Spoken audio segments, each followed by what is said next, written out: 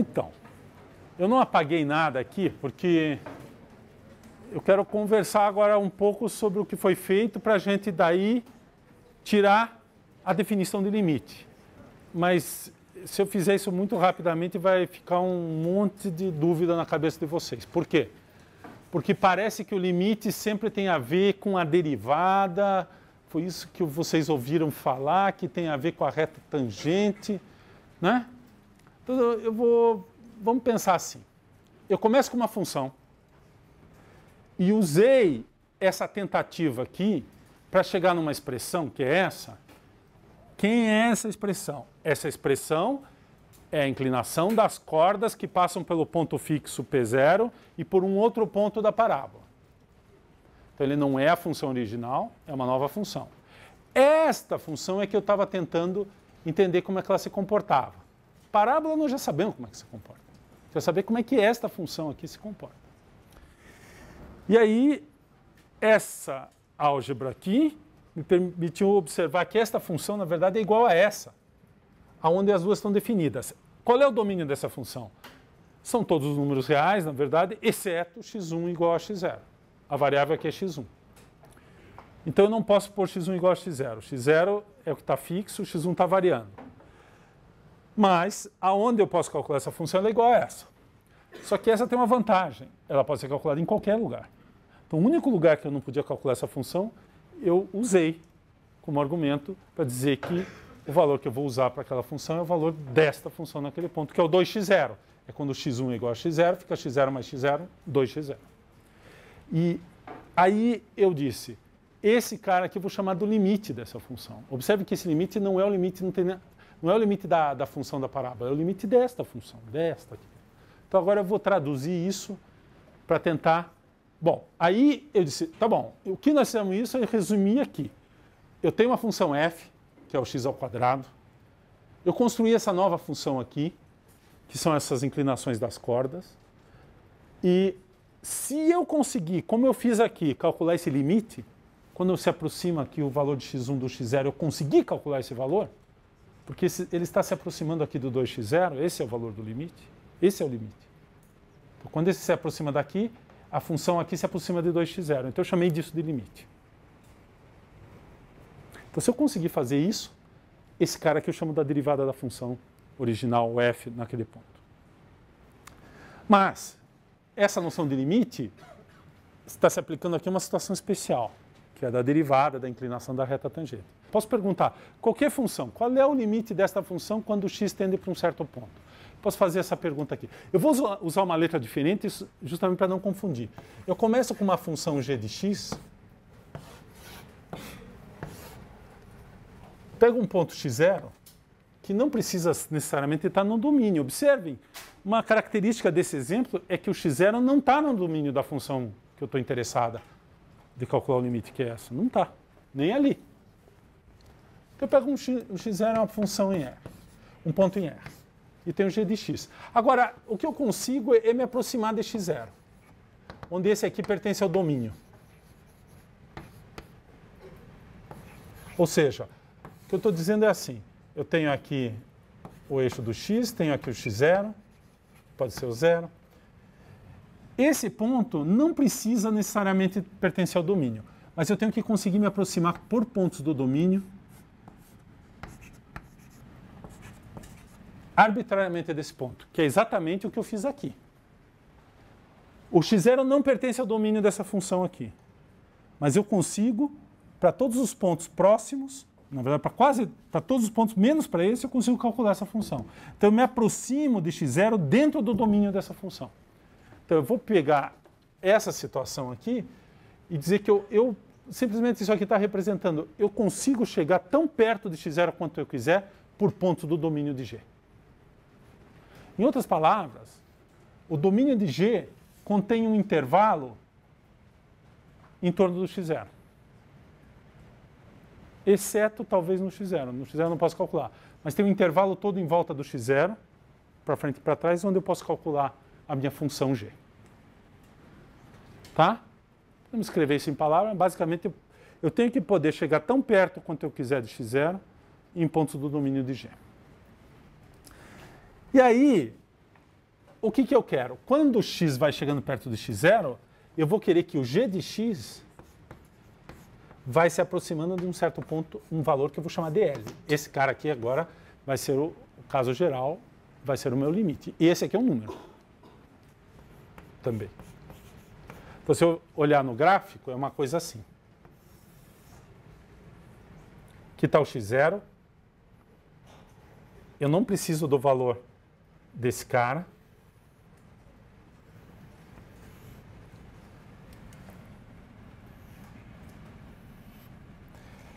Então, quando eu me aproximar aqui de x0, dentro desse intervalo, eu tenho que conseguir mostrar que o valor da função cai dentro de um certo intervalo em torno do L. E que se eu pedir para que esse ponto esteja mais próximo, talvez eu tenha que apertar um pouco aqui, mas eu ainda consigo que esse cara todo vai ser elevado pela função dentro desse intervalo em torno do L. Então é um seguinte jogo. Eu digo assim, vamos pensar nessa, nesse exemplo aqui. Eu digo, olha, eu acho que L é 2x0. Como a gente... Então, eu digo assim, se você me der 2x0 e um pequeno intervalo em torno do 2x0, por exemplo, mais 0,1, menos 0,1, eu consigo um valor aqui em torno do valor de x0, que nesse caso, como a inclinação dessa reta é 1, também é mais 1, mais 0,1, menos 0,1, tal que todo mundo aqui cai dentro desse intervalo em torno do L. Se você apertar mais aqui, talvez eu tenha que apertar mais aqui. Mas eu consigo sempre ganhar esse jogo. O jogo é, você me dá um intervalo tão apertado quanto você quiser em torno do 2x0, eu te dou um outro intervalo aqui que todo mundo aqui, quando eu pego essa função, cai lá dentro, no intervalo que você pediu. Ou seja, arbitrariamente, tão perto quanto eu exigi aqui, eu consigo pontos próximos do x0 que caem aqui dentro. Todos os pontos em torno do x0. Definição.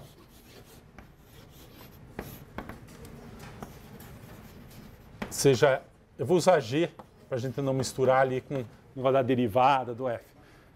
É só um nome, podia ser h, k, dx, uma função. Então, esse aqui é uma função. Vamos já estabelecer quem é o domínio. Dar um nome para ele. Essa função tem domínio D.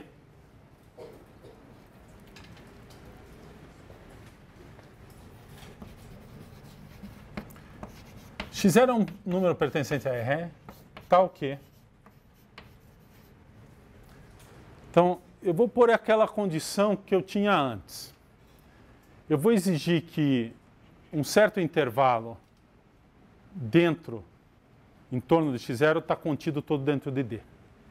Tal que é,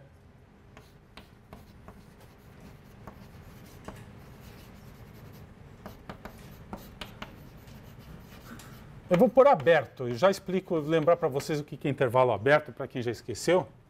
Para algum intervalo aberto I, a gente pode, vamos dar um nome para ele, AB, com x0 pertencente aí.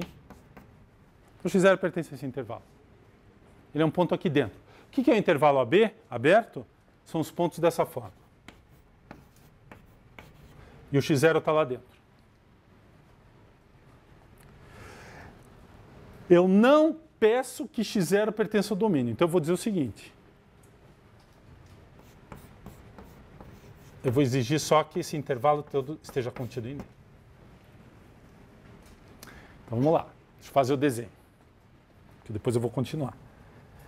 Aqui está a reta dos valores de x. Eu tenho meu domínio D. E aqui está o ponto x0. Eu vou exigir que algum intervalo aqui AB, exceto esse ponto, ou seja, que esses pontos estejam contidos dentro de D. É isso que está descrito aí. Essas são as condições para poder definir limite. Vocês vão entender depois por quê. Agora vem a definição de limite, que é essa ideia que eu comecei a falar aqui, depois nós vamos voltar.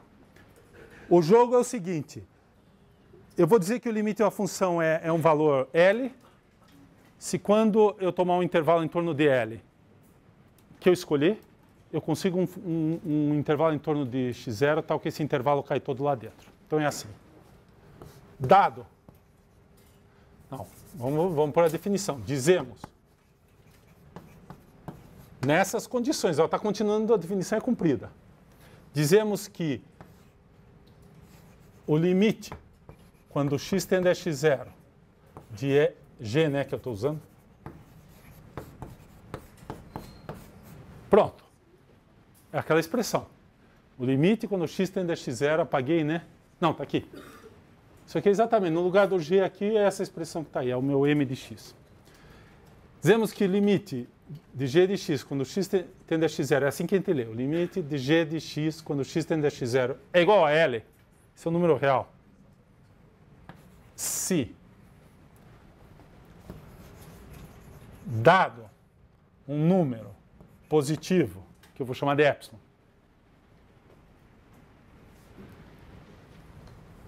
Existe um outro número, delta, positivo também.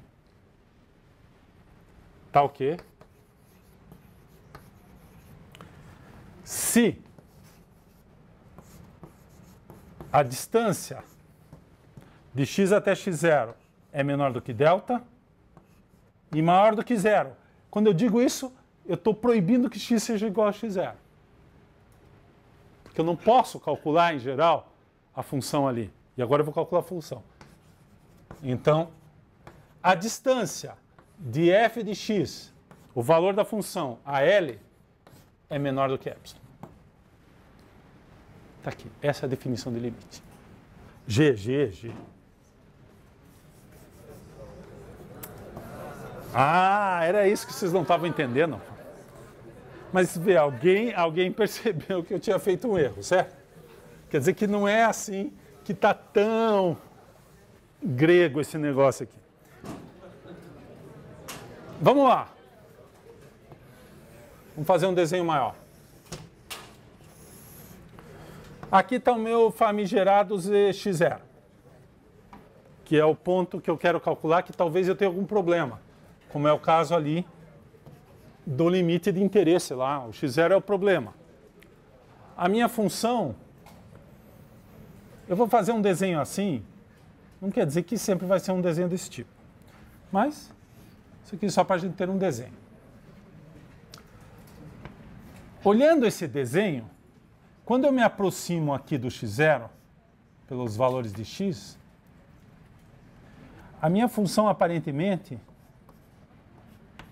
se aproxima desse valor aqui.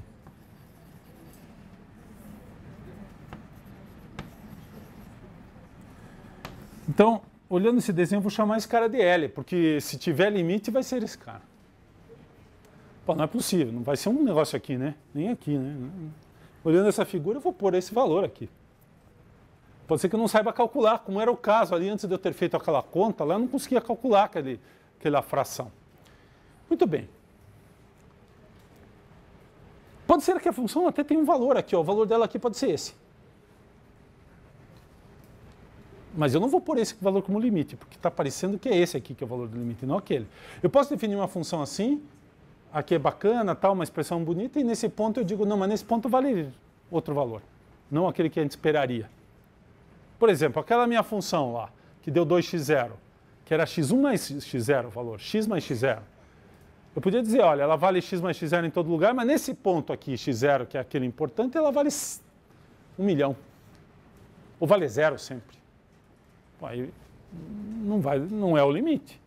Mesmo que seja o valor da função. A função pode ter um valor diferente do que é o limite dela ali. Por isso que aqui eu não calculo no x0.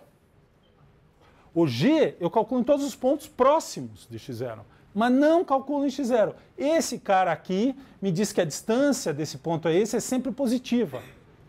Portanto, x nunca é x0. Isso aqui proíbe, esse maior, igual, maior que zero aqui, proíbe que esse valor aqui seja igual a x0. Eu não quero calcular o valor em x0. Eu quero calcular o limite. Aqui, Pode ser que assuma o valor L. Não posso proibir. A função pode ser constante, né?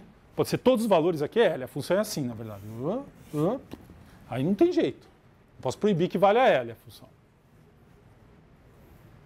Mas eu não quero calcular nesse ponto, porque nesse ponto aqui eu não sei o que, que acontece. Ou não sei calcular, ou não tem valor, ou tem problema, ou dá zero sobre zero, ou dá infinito sobre infinito, pode dar todo tipo de coisa esquisita. Mas perto dali é uma expressão bacana e eu sei calcular. E é esse cara que eu ponho aqui. Então veja. O jogo é assim. Eu dou esse cara aqui. Na verdade, quando eu dei esse cara aqui, eu disse o tamanho desse intervalo. Então eu disse assim, olha, aqui, pessoal, eu tenho que, se você me dá esse valor, esse aqui é L mais epsilon, e esse aqui é L menos epsilon, e esse aqui é L. O tamanho desse intervalo aqui, a distância do valor da função vai ser sempre menor do que epsilon. Então, dl até o ponto no máximo da epsilon. Então, eu dei esse valor. Eu tenho que conseguir aqui um intervalo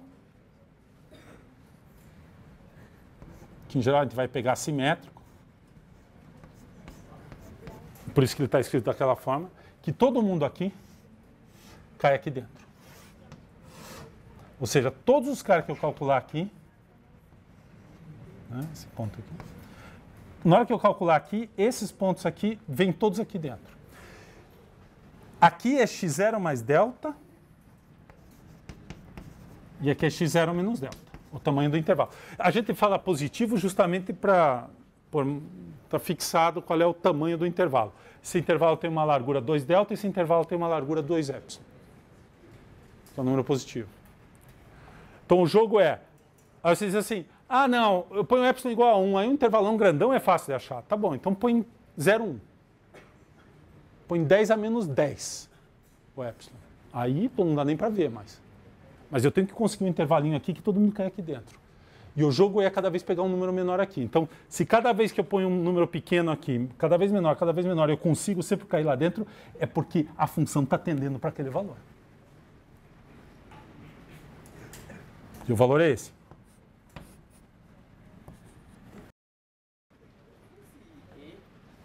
Chama epsilon.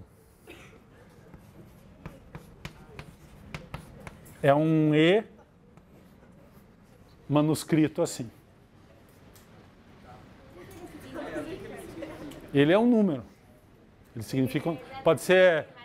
Ele é o tamanho daquele intervalo, é a largura. Duas vezes ele é a largura do intervalo que eu exijo que.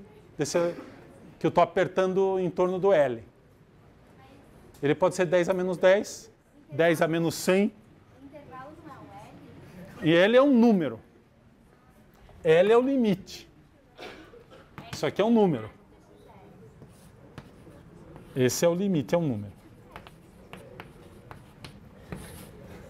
Calma, vamos lá, vamos esclarecer todas as letras aqui, o que significam. Calma, espere um pouquinho. Vamos esclarecer essa dúvida. Eu estou dizendo que o, o limite do a, a, o valor, os valores de g, quando x tende a x0, tendem para esse valor aqui. Esse é um número. Suponha que eu tente, testar essa definição no caso do meu exemplo lá para 2x0. O que, que ia acontecer? Diferente de zero. Mas. Não, mas esse número é sempre maior ou igual a zero. É valor absoluto. Hello. certo? Isso é distância em valor absoluto. Pode estar para o lado esquerdo, pode não é só de um lado, é dos dois lados. Isso aqui é um jogo. Cada valor de epsilon, dá para jogar na internet, inclusive. Cada valor de epsilon que você puser aqui, o seu adversário tem que dar o valor de delta que isso aqui cai lá dentro. O delta depende do epsilon. É outro número. Está escrito, ó, é um número. Ah, é que talvez eu não escrevi assim, né? Mas epsilon é um número, número real. Isso aqui é um número real. Isso aqui é um outro número real. Lembre, nosso mundo é um número de números reais. Então, toda vez que eu puser uma letra aqui, representa um número real. Essa expressão aqui é dado, então ele é qualquer. Então, a definição já implica que é qualquer número tão pequeno quanto você queira. Não é para um valor de epsilon você achou acabou. Para qualquer valor de epsilon. Aquele dado qualquer. Deixa eu enfatizar isso. Dado qualquer.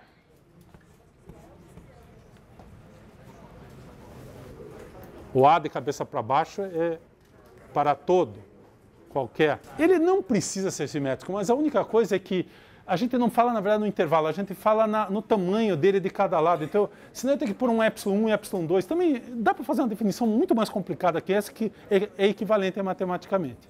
Então, isso aqui é a, é a definição mais simples. Você pega intervalos simétricos, não precisa pegar intervalos que não são simétricos. Esse é o ponto. O quê? É o mesmo aqui, ó. É L menos é o mesmo número aqui. É epsilon para cima e epsilon para baixo. Não, o epsilon não é igual ao delta em geral. O epsilon é dado e o delta eu vou procurar. Pode ser que seja bem menor. Mas para cada epsilon. Então, na verdade, aqui, isso aqui é uma função de epsilon. Depende do epsilon. Porque dado esse, eu acho esse. Dado um outro aqui, eu acho outro. Mas é qualquer aqui. Então aqui pode ser qualquer número. Mas vou fazer um primeiro exemplo muito simples. f de x é igual a A. A é uma constante igual a R. Função constante. Oi. Ah, posso.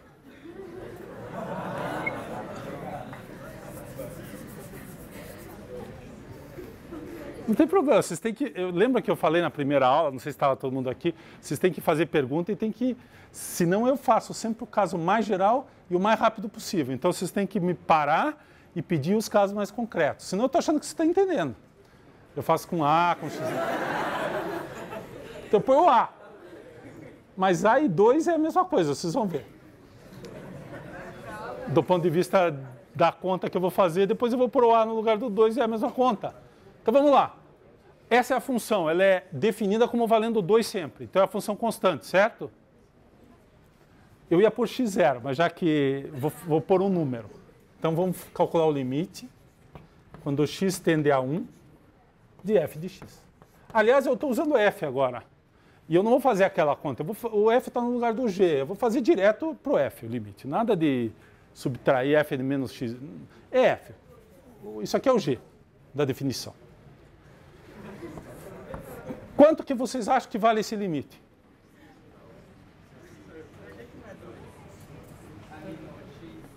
É, porque isso aqui é o x0 e esse aqui é o valor da função. Não tem. O que que, por quê? Você queria que pudesse ser 2 aqui também? Por quê? Aí vocês já estão pedindo. Mas esse cara não tem nada a ver com esse. Eu posso pôr aqui mil. X está indo para mil. Mas por que, vocês querem que eu ponha 2 aqui? 2 é o valor da função, que podia ser 2x também, x ao quadrado, seno de x, alguma coisa assim. Isso aqui, é o valor, isso aqui é a expressão que define a função. O x entra aqui. Para 1 vale 2, para 2 vale 2, para 0 vale 2, para 1000 vale 2. A função é constante. Essa função é essa função aqui. 1, 2. Esse é o gráfico da função.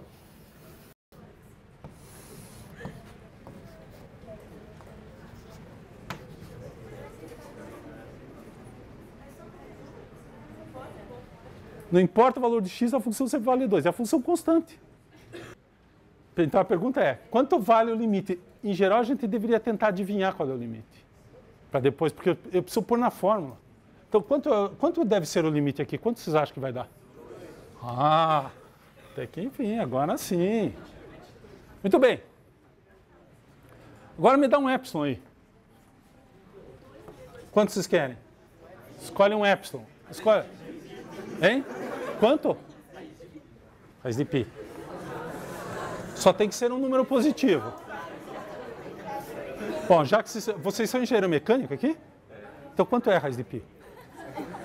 Ah! Engenheiro tem que saber quanto é a raiz de pi de cor, até a quinta casa decimal. Então na próxima aula vocês trazem para mim o valor de raiz de pi. Decorado, não pode escrever no papel. Vai lá. Mas quanto deve ser mais ou menos? Quanto? Ah, ó. Tá razoável. É perto de raiz de 3, certo? Então tá bom. Então vamos lá. Hã? Faz a conta na hora que vê esses trazem. Muito bem. Raiz de π. Tá bom. Pode ser qualquer número positivo. Então, eu tenho que achar um, um, um valor de delta. Onde estava mesmo o meu x? Aqui. A escala aqui é 500 mil. Eu tenho que achar um valor de delta aqui, tal que se eu escolho o ponto aqui, esse ponto tem que, quando eu calcular com a função, tem que cair aqui, onde aqui é 2 menos π, raiz de π, e aqui é 2 mais raiz de π, que é mais ou menos 3,7 e 0,3, né? 0,3. Que, que, que valor que eu ponho para delta?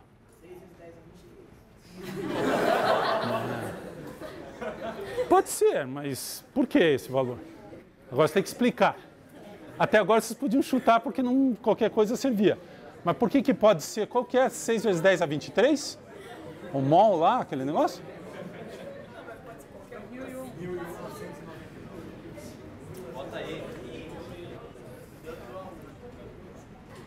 Quanto é o valor de. Não, agora, agora acabou a, moleza, a brincadeira. Agora, quanto pode ser o valor de delta? Vamos pensar. O que, que vocês acham? Quem acha que delta igual a 1 funciona? Levanta a mão. Funciona? Quem acha que delta igual a 0,1 funciona? Aumentou o número. Quem acha que delta igual a 10 a menos 10 funciona? Quem acha que 10 elevado a 10 funciona? 10 elevado a 10. Muito bem. Vamos escrever a expressão. Essa expressão é igual a quê? Quanto é f de x? Quanto é? Tanto faz, né? Quanto é o L?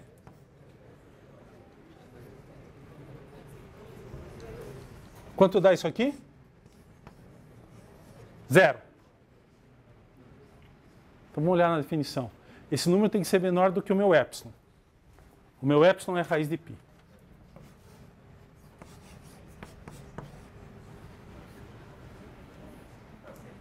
O que, que significa isso aqui?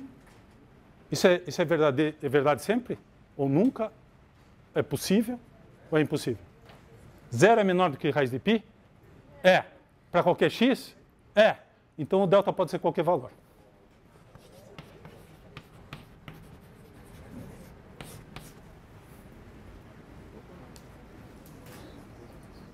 Porque exatamente o que está acontecendo é que não importa que o tamanho de delta, todo mundo vai valer 2, todo mundo vai cair lá dentro.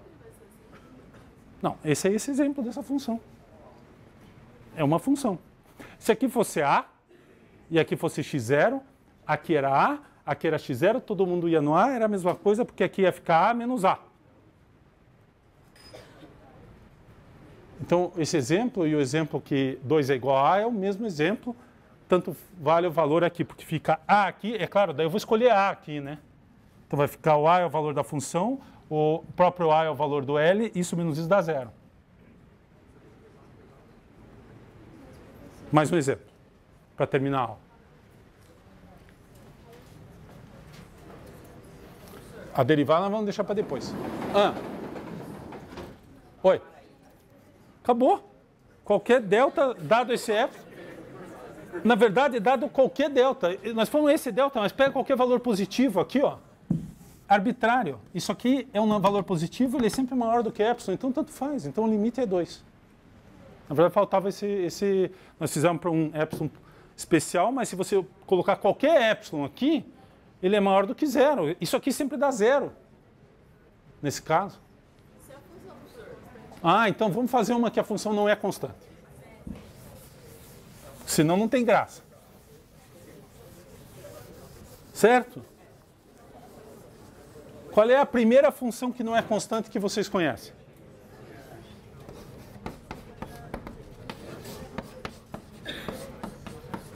É a função identidade. Que é aquela primeira. Lembra que a construção de função começa com as constantes, a próxima é essa. Então, vamos calcular o limite dessa função para qualquer. Agora nós vamos fazer para qualquer A. Para qualquer x0. Eu quero calcular isso aqui. Agora eu não vou pôr número aqui, agora nós vamos ter que fazer isso aqui. Muito bem. Qual deve ser o valor? Quem que vocês acham que deve ser? Qual que deve ser o limite de f de x, que é x, quando x tende a x0? x0. Esse é o L. Então, em geral, a gente começa de trás para frente. A gente começa pelo fim desse cara aqui.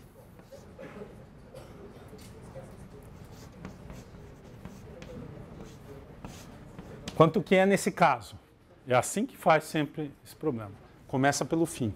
Depois a gente vai para trás. A gente escreve essa expressão, substitui o valor da função x, o valor de L e o valor da função. Aqui entra o valor de L, que eu estou tentando adivinhar que é, que é x0. E dado um epsilon, eu quero que isso seja menor do que epsilon. Que valor que eu pego para delta?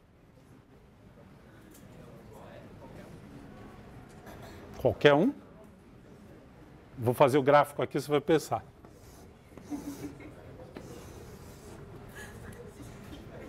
Aqui é o x0, aqui é x0. Eu coloquei um intervalo aqui. Que tamanho que pode ter um intervalo aqui para cair lá dentro? Qualquer um, esse aqui cai lá dentro? Não. Quanto que tem que ser? Essa reta tem inclinação 1. Qual é o valor de delta? Alguém acho que falou. Hein? Menor que epsilon ou igual a epsilon. Então, dado epsilon, eu escolho delta igual a epsilon.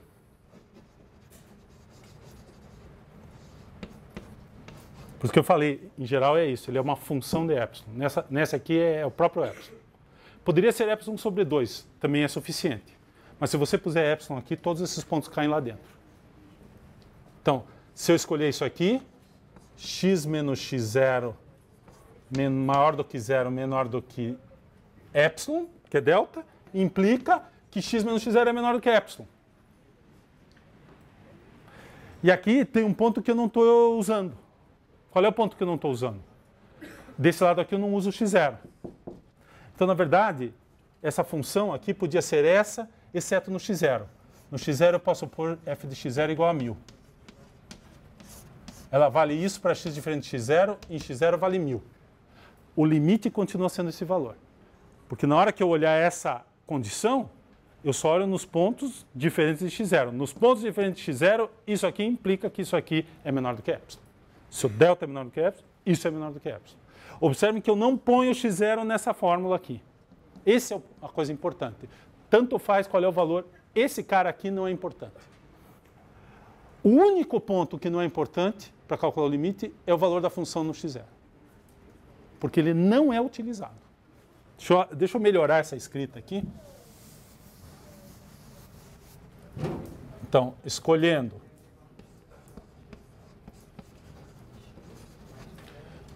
delta igual a epsilon zero, se x menos x0 for menor do que delta, que é epsilon, e maior do que zero, isso implica que isso aqui, se isso aqui é menor do que, isso aqui é a mesma coisa que isso.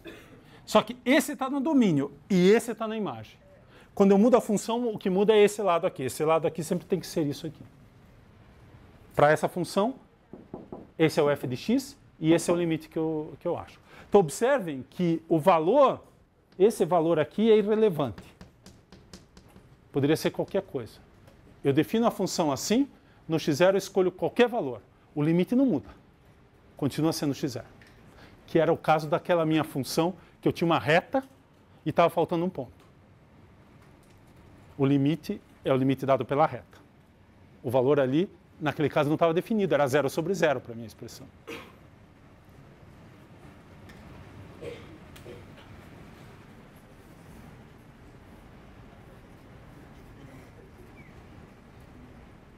Que tal? Ainda está difícil. Normal. Certo?